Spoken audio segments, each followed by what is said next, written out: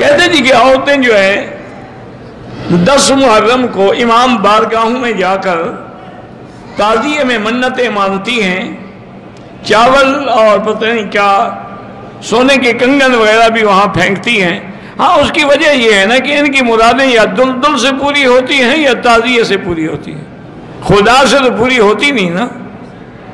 گھوڑے کے نیچے بھی گزرتی ہیں کہ مجھے حمل ہو جائے۔ اور تازیے پر بھی جا کے پھول چڑھاتی ہیں اور سونے اور پیسے ڈالتی ہیں۔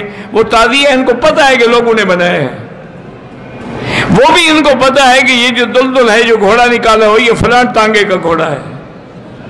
حضرت حسین کا گھوڑا ابھی تک زندہ ہے، اس کو پکڑ کے رکھا ہوا انہوں نے۔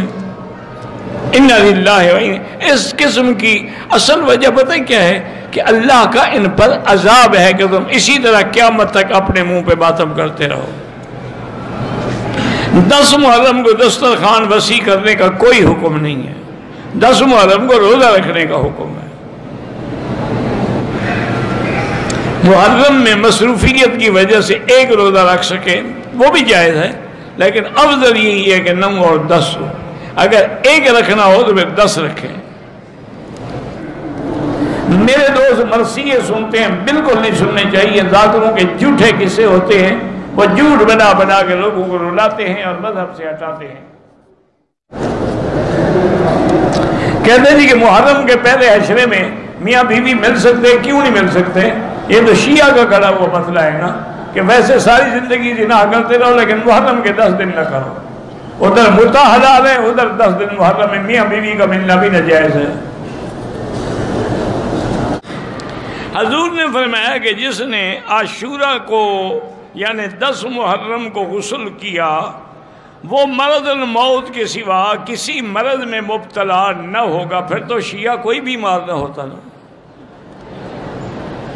اللہ کے بھائی، ایک حدیث پتہ نہیں تم نے کہاں سے گھڑی ہے۔ حضور نے روزے کا حکم تو دیا ہے، غسل کا حکم تو نہیں دیا۔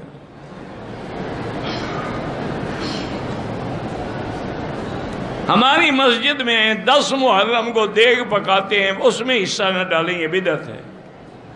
حضرت حسین پیاسے شہید ہو گئے، بھوکے شہید ہو گئے، یہ دیگیں پکا کے کھا رہے ہیں۔ روزہ رکھو، تم بھی بھوکے رہو۔ حضرت حسین سے محبت کا اظہار کرو۔ ہاں یہ حدیث بالکل ٹھیک ہے کہ حضرت معاذ سے روایت ہے۔ آپ نے فرمایا کہ ایک وقت آئے گا تو میرے صحابہ کے بارے میں لوگ جو ہیں، ین تک، ین کو سونا صحابی شان میں گستاخی کریں گے، فلا تو جالسو ہم ان کے ساتھ نہ بیٹھا کرو۔